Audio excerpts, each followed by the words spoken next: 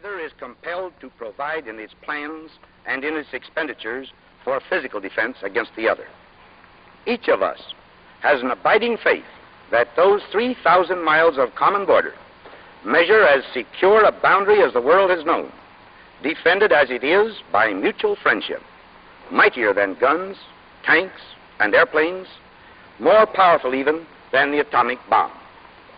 As I accept uh, with great pride the honorary doctorate of Toronto University, I pledge every support possible in my poor power to education everywhere as it carries on its rightful role in this glorious, uh, universal crusade.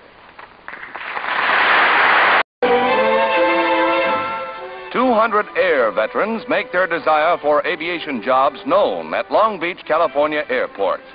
Newly organized as the Association of World War II Pilots, the men are under the leadership of Chick Logan, who contends that the organization of freight and express airlines would provide employment for thousands of veterans now on the outside looking in at the aviation industry.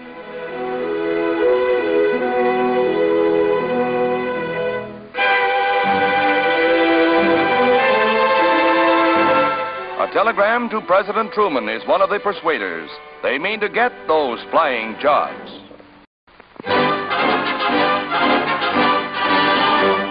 President Truman awards the Oak Leaf Cluster of the Distinguished Service Medal to General Wild Bill Donovan, organizer and commander of the Office of Strategic Services. General Donovan's force performed some of the most hair raising feats of the war.